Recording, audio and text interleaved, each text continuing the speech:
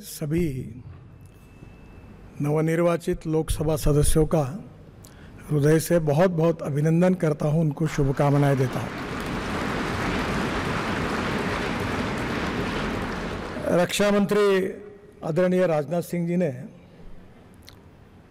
Bharatiya Janata party संसदीय दल के नेता, एनडीए के नेता और लोकसभा के नेता के रूप में आदरणीय नरेंद्र मोदी जी, इनका नाम प्रस्तावित किया है।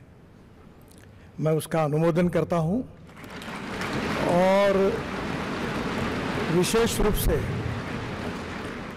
पिछले दस साल में उनके नेतृत्व में कार्य करने का सौभाग्य हमको मिला।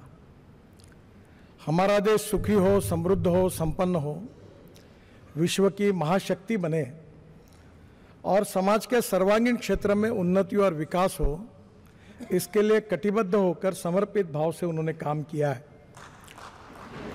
और मुझे इस बात का विश्वास है कि केवल देश में नहीं तो पूरे विश्व में अपने कार्य से उन्होंने पूरे विश्व को भी प्रभावित किया है।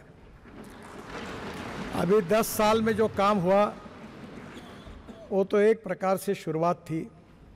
पर इसके बाद आने वाले पाँच साल में हम विश्व की एक महान ताकत बनेंगे, ऐसा हम सबको दृढ़ विश्वास